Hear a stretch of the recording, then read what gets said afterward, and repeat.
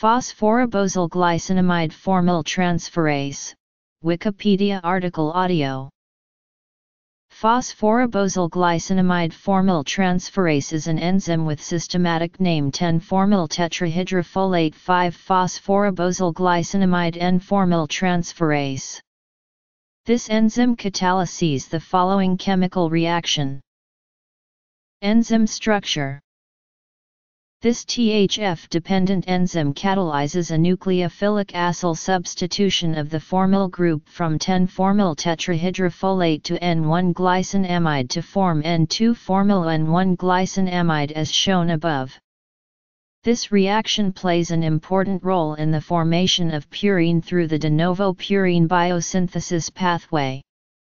This pathway creates inosine monophosphate, a precursor to adenosine monophosphate and guanosine monophosphate. AMP is a building block for important energy carriers such as ADP, NAD and NFAD, and signaling molecules such as CAMP.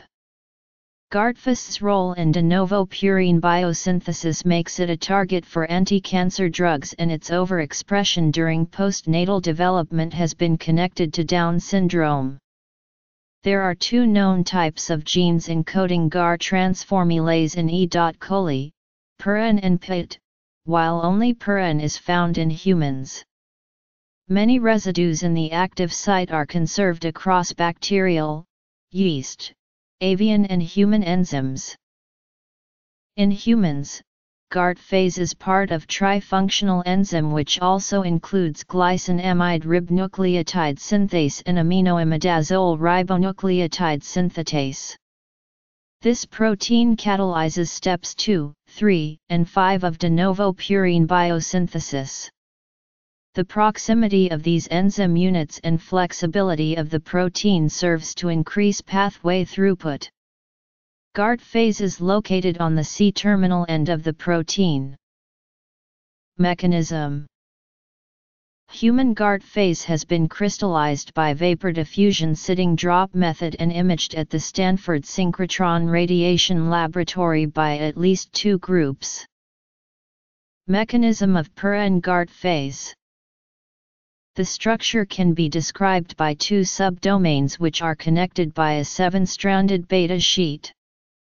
The N-terminal domain consists of a Rossmann-type mononucleotide fold, with a four-strand part of the beta sheet surrounded on each side by two alpha helices. The beta sheet continues into the C-terminal domain, where on one side it is covered by a long alpha helix and on the other it is partially exposed to solvent. It is the cleft between the two subdomains where the active site lies. Mechanism of PIT phase The cleft consists of the GAR binding site and the folate binding pocket. The folate binding pocket is delineated by pteridine binding cleft, the formyl transfer region and the benzoyl glutamate region which bind thepteridine head and a benzoyl glutamate tail connected by a formyl bound nitrogen of FTHF. This folate binding region has been the subject of much research because its inhibition by small molecules has led to the discovery of antineoplastic drugs.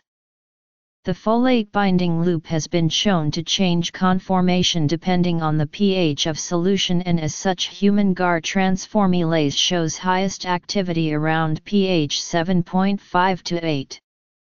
Lower pH conditions change the conformation of the substrate binding loops as well. Involvement in de novo purine biosynthesis Klein et al. first suggested a water molecule-assisted mechanism. A single water molecule possibly held in place by hydrogen bonding with the carboxylate group of the persistent ASP144 residue transfers protons from the GARN to the THFN.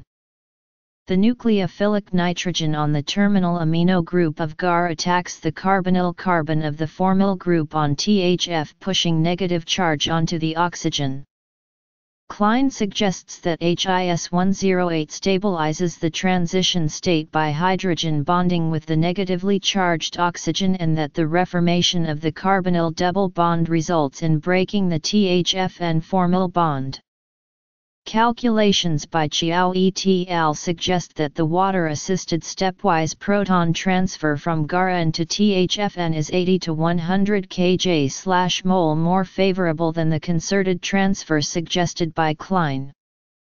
The mechanism shown is suggested by Qiao et al., whom admittedly did not consider surrounding residues in their calculations.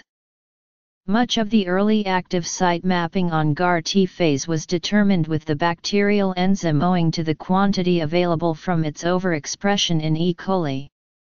Using a bromoacetyl dideazafolate affinity analog James Inglese and colleagues first identified ASP144 as an active site residue likely involved in the formyl transfer mechanism. Disease relevance Studies of the PIT variant of GAR transformylase in E. coli found that the reaction proceeds through a formyl phosphate intermediate. While the in vitro reaction can proceed without THF, overall the in vivo reaction is the same. GART catalyzes the third step in de novo purine biosynthesis, the formation of N2-formyl N1 glycinamide by formyl addition to N1 glycinamide. In E. coli, the PurN enzyme is a 23-keta protein but in humans it is part of a trifunctional protein of 110 keta which includes AIRS and GARS functionalities. This protein catalyzes three different steps of the de novo purine pathway. Cancer target Down syndrome Due to their increased growth rate and metabolic requirements, cancer cells rely on de novo nucleotide biosynthesis to achieve levels of AMP and GMP necessary. Being able to block any of the steps of the de novo purine pathway would present significant reduction in tumor growth. Studies have been done both on the substrate binding and folate binding site to find inhibitors. GARTfase is suspected to be connected with Down syndrome. The gene encoding the trifunctional protein human GARS GART is located on chromosome 21q22.1, in the Down syndrome critical region. The protein is overexpressed in the cerebellum during the postnatal development of individuals with Down syndrome. Typically, this protein is undetectable in cerebellum shortly after birth, but found in high levels in prenatal development.